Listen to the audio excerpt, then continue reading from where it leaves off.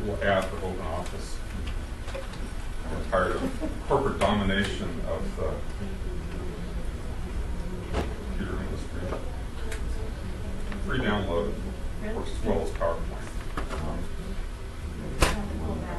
Hmm? Yeah, I got all kinds of stuff. I, I just have white in my background. That's just because I'm not creative.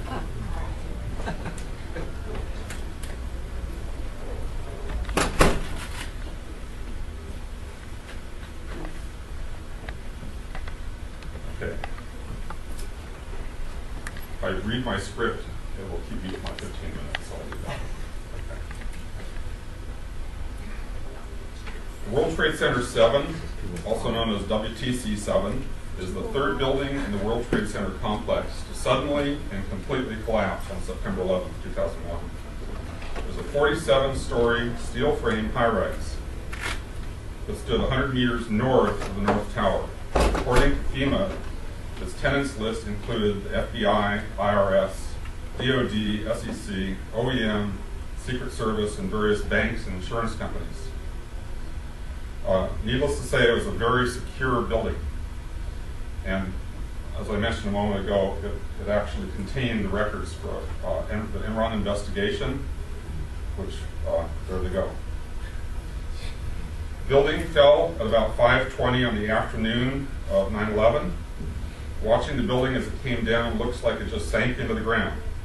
Its destruction closely resembled a standard controlled demolition, unlike the Twin Towers, which were destroyed from the top down in a mushrooming cloud of debris.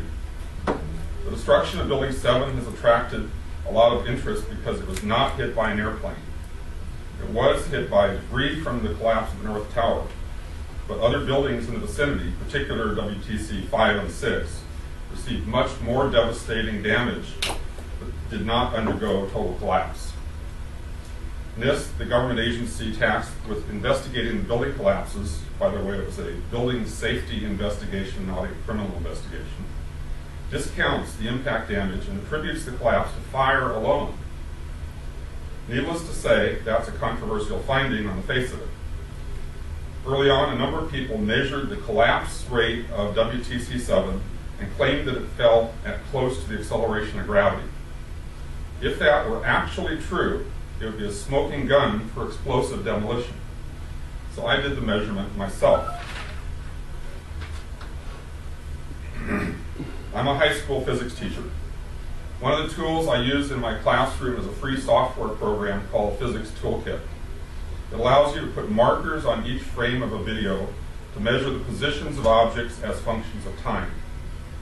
It also has a built-in graphical analysis capability, which allows you to determine velocities and accelerations, which is supposed to happen here. The slope of this would indicate the acceleration. And the fact that it's straight, by the way, indicates it's a uniform acceleration. what I found was an average acceleration close to 9 meters per second squared. The acceleration of gravity is g, which is 9.8 meters per second squared. However, I noticed the acceleration was not uniform. When I focused on just the first few seconds, the acceleration was essentially g. I did a screencast of the measurement process and posted it on YouTube. the main limitation of this original measurement was the uncertainty in the calibration. Then in August 2008, NIST released its long-awaited report on Building 7, in which they claimed the building came down due to fire alone. It was labeled Final Report on the Collapse of World Trade Center, Building 7, Draft for Public Comment. In that report, they published the exact heights of the 29th floor and the top of the parapet. I could identify those points in the video, so I used their numbers, their numbers to recalibrate my measurement. This time I got it even closer to G, 9.88 meters per second squared, which is within 1% of G. Contrast that with NIST's claim in the report that the roof line took 5.4 seconds to come down 18 floors, which they described as 40% longer than free fall time.